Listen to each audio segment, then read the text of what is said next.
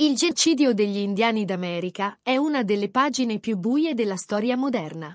Per secoli, le popolazioni indigene del continente americano sono state vittime di violenza, oppressione e sterminio da parte dei colonizzatori europei e dei loro discendenti. Le cause dello sterminio degli indiani d'America sono molteplici e complesse. Innanzitutto, vi fu la diffusione di malattie europee, a cui le popolazioni indigene, non avendo sviluppato alcuna immunità, erano particolarmente vulnerabili. Nel corso del XVI secolo, malattie come il vaiolo, il morbillo e la peste decimarono la popolazione indigena, riducendola di circa il 90%. In secondo luogo, i colonizzatori europei erano intenzionati a conquistare e sfruttare le terre dei nativi americani. Per raggiungere questo obiettivo, non esitarono a ricorrere alla violenza e alla guerra. Nel corso dei secoli si verificarono numerosi massacri di nativi americani, come quello di Sand Creek nel 1864, in cui le truppe statunitensi uccisero indiscriminatamente circa 200 uomini, donne e bambini sceienne. Infine, i colonizzatori europei cercarono di imporre la propria cultura e religione alle popolazioni indigene. I nativi americani furono costretti a convertirsi al cristianesimo e ad abbandonare le proprie tradizioni. Molti di loro furono anche costretti a vivere in riserve, dove erano soggetti a rigide restrizioni.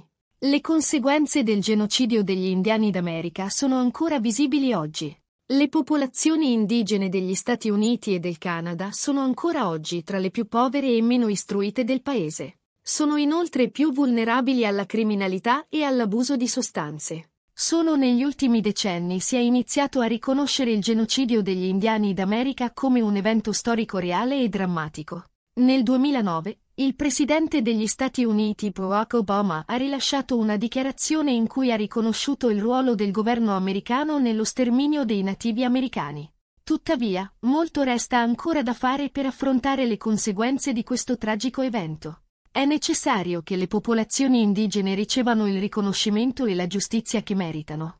È inoltre necessario che si lavori per promuovere la comprensione e la tolleranza tra le diverse culture. Le tappe principali del genocidio degli indiani d'America.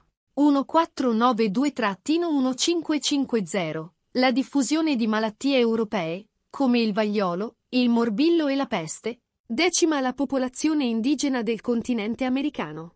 1600-1900. I colonizzatori europei e i loro discendenti si impossessano delle terre dei nativi americani con la forza, attraverso guerre, massacri e trattati iniqui. 1864. Il massacro di Sand Creek è uno degli episodi più sanguinosi della storia del genocidio degli indiani d'America. 1887. Il DOS Act è una legge federale che mira a assimilare i nativi americani alla cultura e alla società dei bianchi.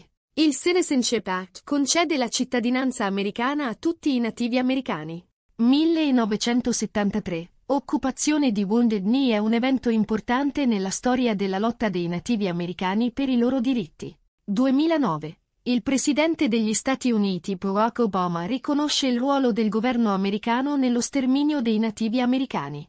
Le conseguenze del genocidio degli indiani d'America. La perdita di vite umane. Si stima che tra il 55 e il 10% della popolazione indigena delle Americhe sia stata sterminata nel corso del genocidio. La perdita di terre. I nativi americani sono stati costretti a cedere gran parte delle loro terre ai colonizzatori europei. La perdita di cultura. I nativi americani sono stati costretti ad abbandonare le proprie tradizioni e la propria cultura.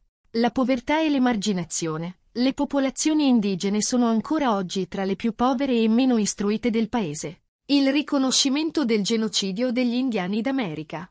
Solo negli ultimi decenni si è iniziato a riconoscere il genocidio degli indiani d'America come un evento storico reale e drammatico. Nel 2009, il presidente degli Stati Uniti Barack Obama ha rilasciato una dichiarazione in cui ha riconosciuto il ruolo del governo americano nello sterminio dei nativi americani. Tuttavia, molto resta ancora da fare per affrontare le conseguenze di questo tragico evento. È necessario che le popolazioni indigene ricevano il riconoscimento,